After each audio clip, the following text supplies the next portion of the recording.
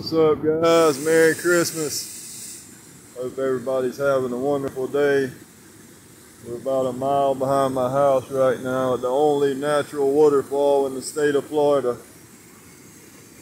And we got some rain here lately and it's, it's really rushing. That's some good water, some good fertilizer there. You see all the tannic acid in it? Man, if I could pipe this to my garden and my fruit trees, they would really shoot up. Here with my wife and daughter. Merry Christmas! Thought we'd come out here and enjoy nature. Enjoy what this day's about. See that right there? That sun?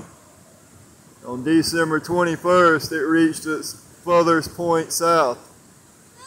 For three days, it hasn't moved. Today, it starts its journey back north. December 21st was our shortest day of the year. From now on, our days will start getting longer and longer and longer again. We're celebrating the birth of the sun. The sun has come back to life. Not literally, figuratively. It didn't literally die, but figuratively, for thousands of years, that's what this holiday is about. Jump out there. Yeah, she wants to jump in. She ain't scared of nothing. But it's the opposite if you're in the southern hemisphere. George down there, yes, December 21st was his longest day of the year.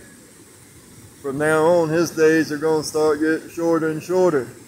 But man, it's cold, guys. I got on a jacket, bundled up out here. I hope y'all have a Merry Christmas and a Happy New Year.